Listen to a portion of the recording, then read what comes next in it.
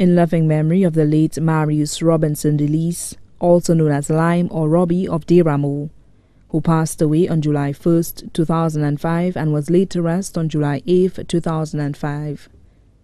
Feel no guilt in laughter. He'd know how much you care. Feel no sorrow in a smile that he is not here to share. You cannot grieve forever. He would not want you to. He'd hope that you would carry on the way you always do.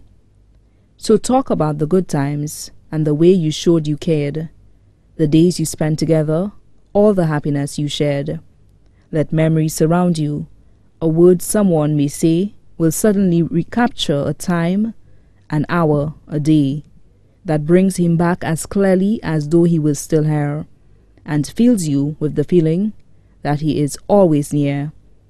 For if you keep those memories, you will never be apart, and you will live forever locked safely within your heart. May you rest in peace.